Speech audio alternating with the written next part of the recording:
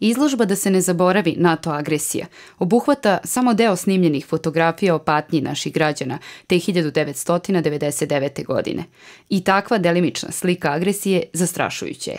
Broj svih autora fotografija nije poznat, ali obuhvata preko 90 fotografa. Izložba je prvi put prikazana u Savu centru 2014. godine za e, godišnicu NATO agresije. Mi svake godine e, Klub generala i admirala Srbije za Beogradski forum za svet ravnopravnih obilježavamo godišnicu NATO agresije kroz e, naučne skupove, međunarodne konferencije i polaganje venaca na spomenik večne vatre na Ušću. Pored velikog broja posetilaca, među kojima su bili predstavnici javno, kulturnog i političkog života, svečanom otvaranju prisustvovali su i direktni učesnici i očevici. Svaki stres, a ponaračito ratni pakao ponaračito pakao košara, od ratnih destava, od silovitih e, destava vatrenog ružanja, odnosno aviobombi i drugih vrsta naružanja, izazive takve stresove da nikada se ti stresovi ne mogu izlečiti u potpunosti.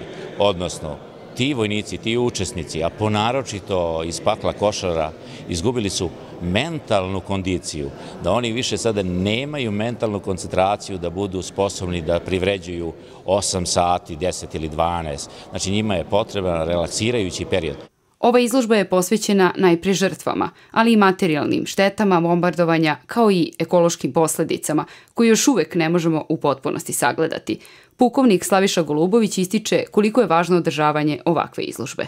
Ako se mi ovakvim događajima ne podsjećamo na to, onda ćemo vrlo brzo zaboraviti jer mi smo narod koji to izuzetno zaboravlja. Prema tome i ova izložba večeras ima tu svrhu i knjiga koju sam napisao sa mojim ratnim drugovima, Pad noćnog sokola, svedoči o tim događajima i sve je to u svrhu toga da se ti događaji ne zaborave.